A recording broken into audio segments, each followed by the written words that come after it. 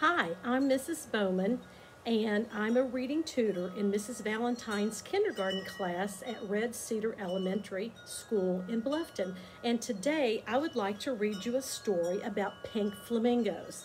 This is called Pink Flamingos All Around, and it's written by Matthew J. Anderson, PhD.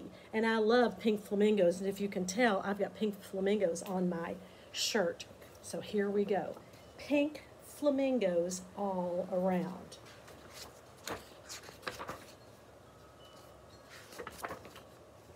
Flamingos go, flamingos stop. Long legs on the bottom, long necks on top. Flamingos fly up, flamingos fly down. Pink flamingos all around. Flamingos live in very large groups and filter their dinners from muddy soups. Flamingo head flamingo feet.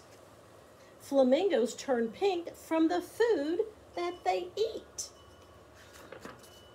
Flamingos make mud nests on mushy, marshy ground, on top of which a single egg may be found.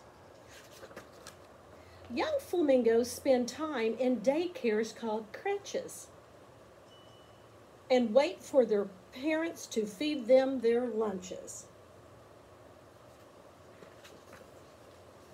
The beautiful flamingos are terribly shy and like to live where no one can pry.